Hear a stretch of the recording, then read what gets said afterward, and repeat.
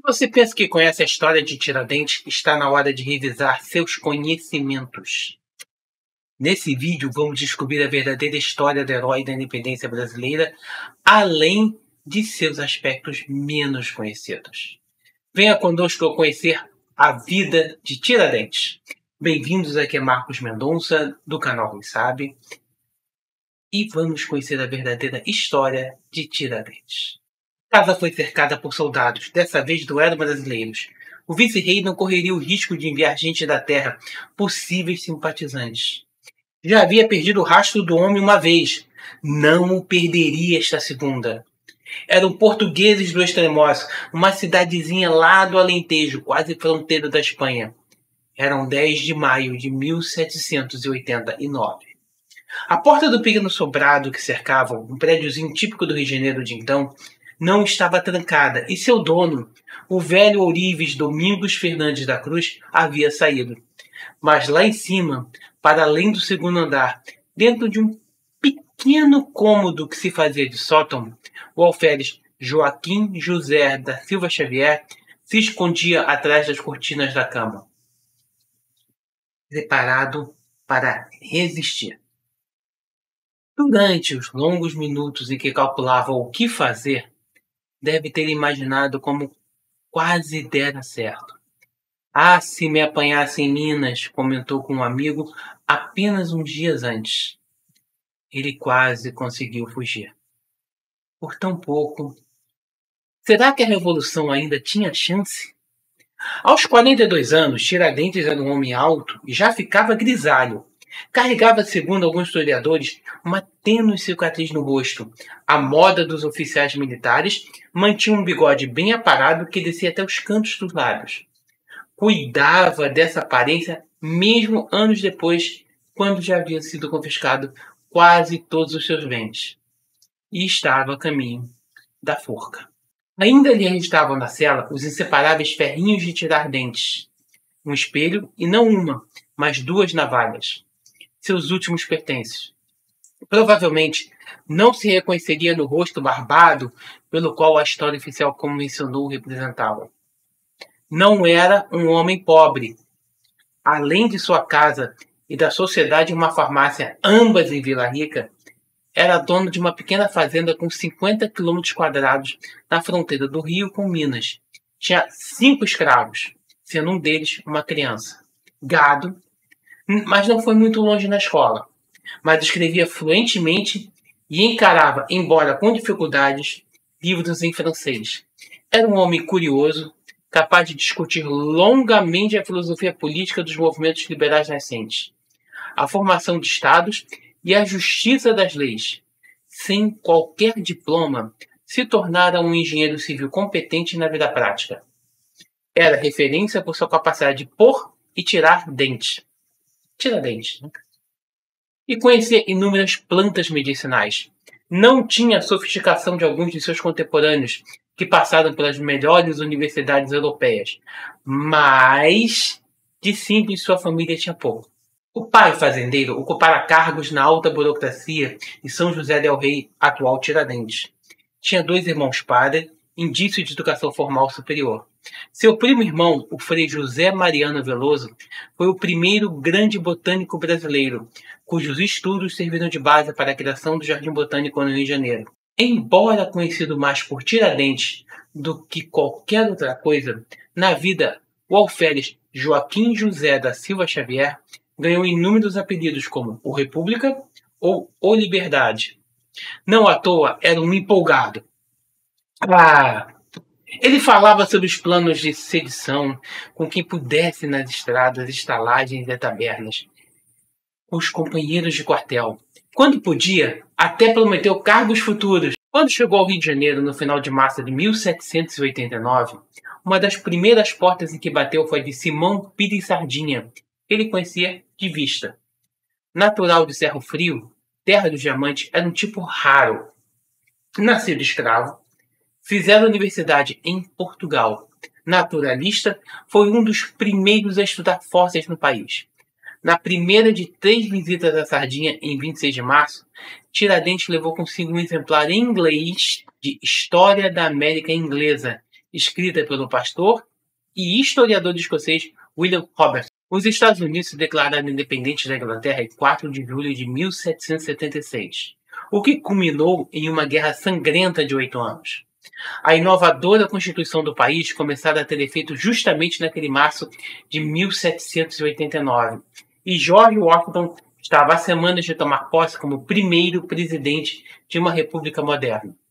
Os Estados Unidos eram a maior inspiração de vários dos inconfidentes mineiros, e dentre eles estava Tiradentes, que devoravam o que podia sobre as ideias que moveram a independência norte-americana.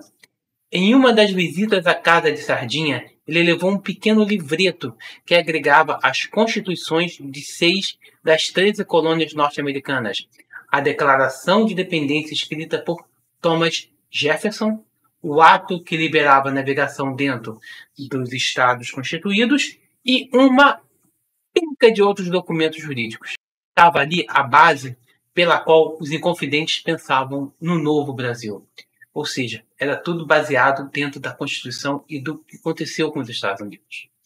Dos planos dos libertários, o vice-rei do Brasil, Luiz Vasconcelos de Souza, já sabia de tudo.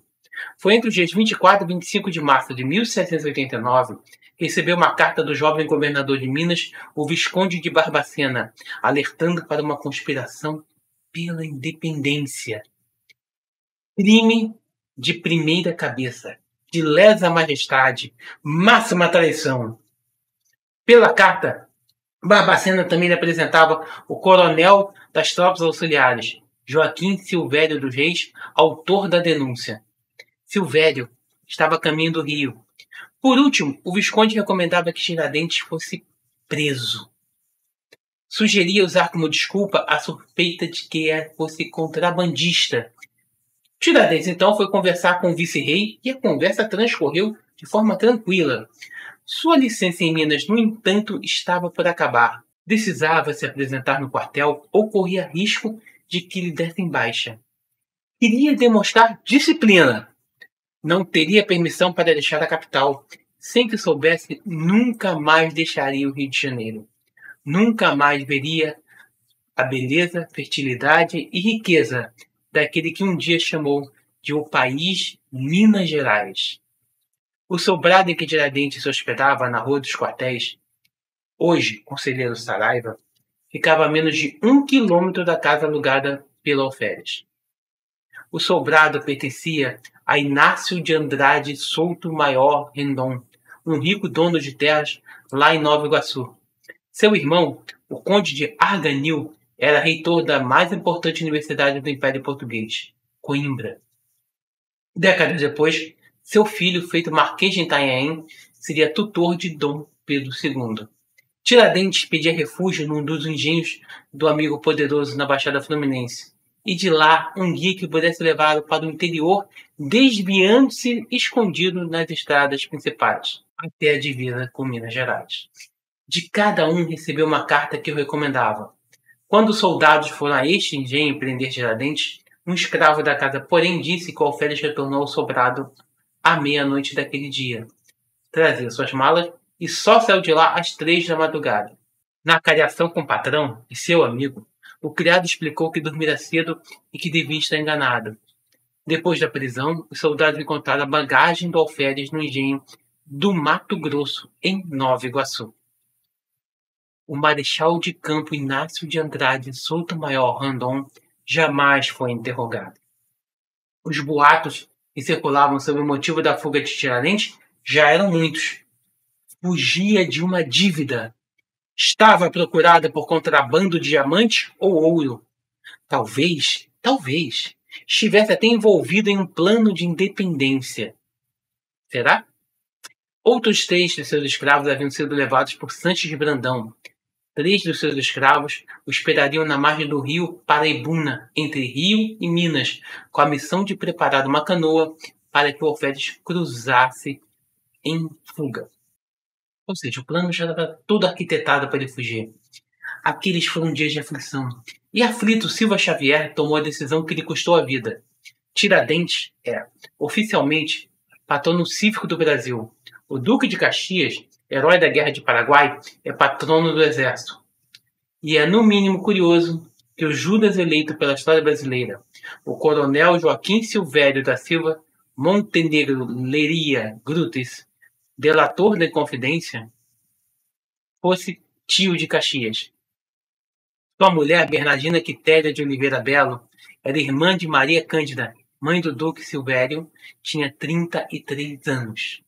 Era um dos homens mais ricos de Minas e também dono de uma das maiores dívidas com o governo. Num momento de desespero, acreditando que a revolução caminhava para o fracasso, decidiu que se delatasse todos, poderia obter de prêmio o perdão da dívida. Chegar ao Rio no dia 1 de maio, o Tiradentes foi informado disso. O que ele não sabia era que seu bom amigo era também seu algoz. Escondido no sótão da Rua dos Latoeiros, o alferes pediu a Domingos, seu anfitrião, que procurasse por Manuel José de Miranda, o cunhado do Marechal de Campo. Iria confirmar a ida lá para a Baixada. E o padre Inácio Tiradentes pediu que procurasse Silvério dos Reis. Silvério era um amigo, ele disse. Pode confiar.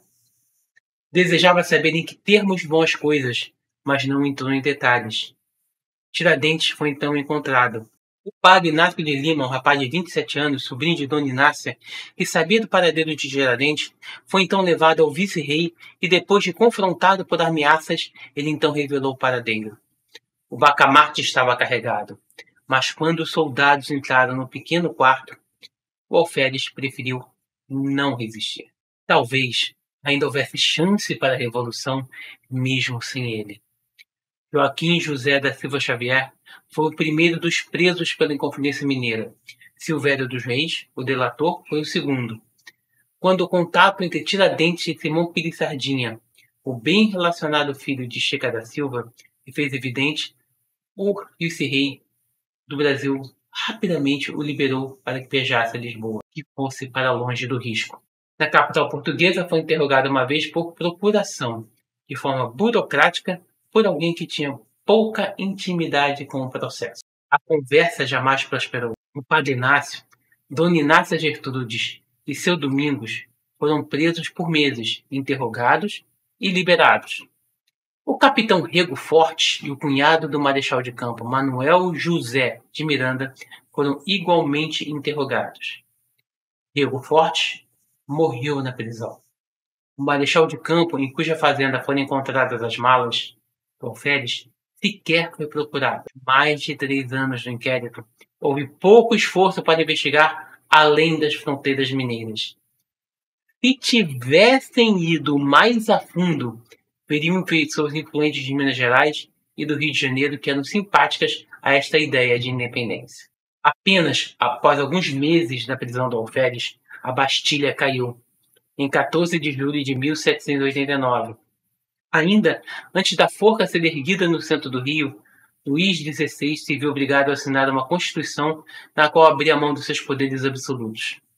Quando a guilhotina desceu pela primeira vez em Paris, Tiradentes ainda respirava. Entre a prisão de Tiradentes naquele 10 de maio em 1789 e o enforcamento dele em 21 de abril de 1792, algo mudou na percepção dos portugueses. República e liberdade, apelidos de Tiradentes, ideias perigosas e aparentemente prenúncio de um tempo por vir. Os Estados Unidos, que moveram o sonho de tantos inconfidentes, já não era mais um exemplo isolado. Tiradentes foi o único levado à forca, mas não foi o único morto pela punição. Dois dos seus grandes poetas arcades mineiros morreram pelas agulhas da cadeia. Outros dois morreram antes de ouvir a pena. Tiradentes não era o mais pobre, não era o mais educado, muito menos era, como leram alguns, um dos menos capazes de exercer a influência. Seus últimos dias de liberdade no Rio mostram um traço mais notável de sua personalidade: a capacidade de envolver gente de todas as classes, de seduzir, de cultivar alianças. Assim como mostram sua inconsequência, seu agir sem pensar, pela ansiedade e a sua exposição demasiada. No período da prisão, apenas um detalhe distinguiu dos outros. Após inúmeros interrogatórios, foi o único réu confesso. Tiradentes é muito mais do que um herói da independência brasileira. Ele é um símbolo da luta pela liberdade e justiça. E sua história merece ser conhecida e lembrada. Esperamos que você tenha gostado desse vídeo, que você tenha aprendido mais sobre a vida desse grande brasileiro. Ficamos por aqui. Se gostaram, dê seu like, comente, se puder espalhe. Aqui é um canal simples, mas com muita vontade. Até breve, se Deus quiser.